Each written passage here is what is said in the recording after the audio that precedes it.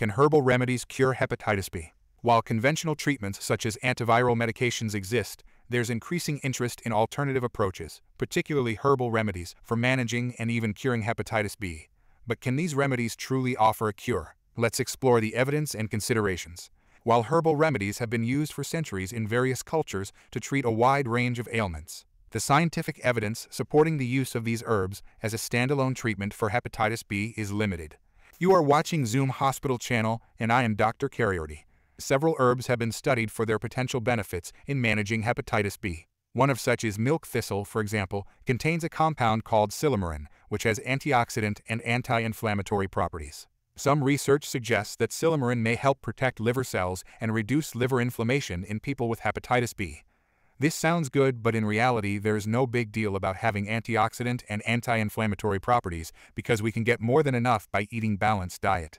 Moreover, although antioxidant and anti-inflammatory properties is desired, it cannot stop the hepatitis B virus. Similarly, licorice root has been investigated for its antiviral properties and potential to inhibit hepatitis B virus replication. Glycyrrhizin, a major component of a herb licorice, has been widely investigated for treating chronic hepatitis B in animal models. It shows an improved liver function and reduction in the level of hepatitis B surface antigen after intravenous administration in the animals. This is an academic research, not a clinical trial. Hence, a lot needs to be done to determine if this extract of licorice root is safe for humans at the dose that gave the result in the animal models. Uncertainty and the risks to your health.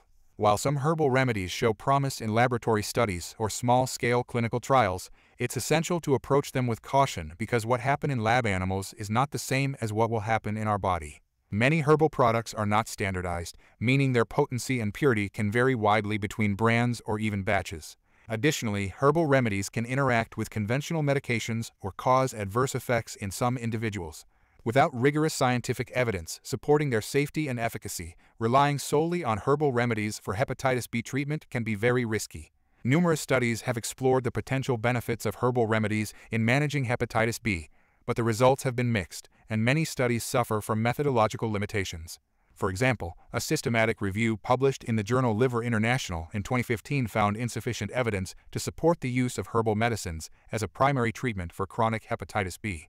While some studies suggested potential benefits, the overall quality of evidence was deemed low.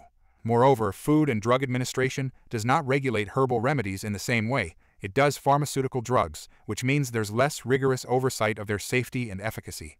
This lack of regulation underscores the importance of caution when considering herbal treatments for hepatitis B.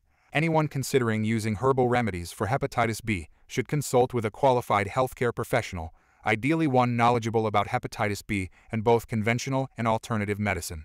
A qualified healthcare provider can provide personalized guidance, assess potential risks and benefits, and monitor the individual's condition closely. It's crucial to inform healthcare providers about any herbal supplements being taken, as they can impact treatment decisions and overall health management. Kindly subscribe to our channel and hit the notification bell so that you can be notified anytime we release a new video with a life-saving medical innovation.